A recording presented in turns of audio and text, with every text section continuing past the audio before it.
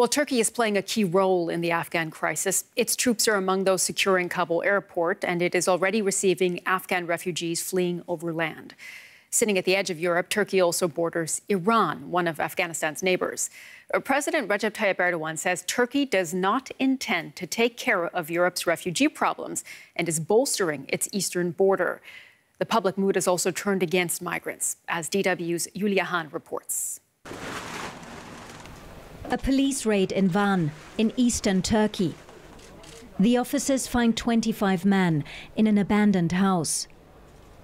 They all fled Afghanistan.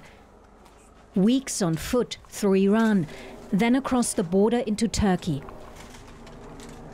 We came here because we had to. The Taliban will kill us if we go back. There is war in Afghanistan, and there is nothing in Pakistan. We didn't come here just for fun. Turkey is a better place. Most Afghans who come to Turkey via this route want to continue west to Istanbul. Turkey has taken in nearly 4 million refugees from Syria over the past years and hundreds of thousands of Afghans. Many now live here in Istanbul. That has changed the city and is causing more and more conflicts. Wherever we ask about the difficult situation in Afghanistan, the answer is always the same. We cannot accept more people. Yahya Ismailzadeh came to Turkey six years ago. Since then, he has observed how the mood towards refugees and migrants has become increasingly hostile. These images particularly worried him and his friends. In mid August, a xenophobic mob attacked several Syrian shops and homes in the capital Ankara. The violence was triggered by reports that Syrians had stabbed a Turk to death in a fight.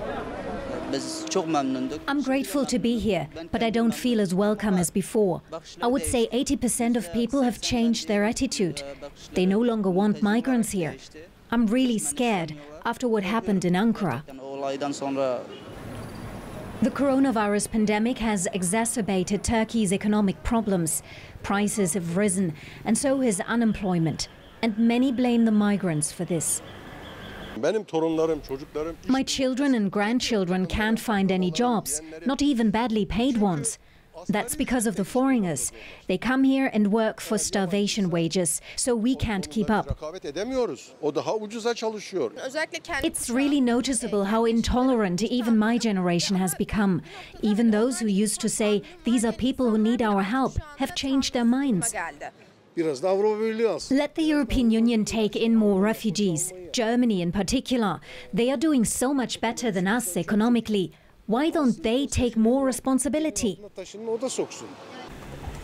The Turkish army has increased its controls along the border with Iran. A concrete wall is being built at high speed.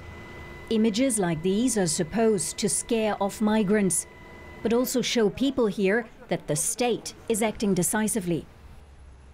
And President Recep Tayyip Erdogan says that the European Union has to do more instead of relying again on Turkey to solve the problem. Turkey has no duty, responsibility or obligation to be Europe's refugee warehouse. From a country where they fear for their lives to a country that doesn't want them. For the Afghans who crossed the border near Van, the escape is over. Police take them to a deportation center. That's where their fate will be decided.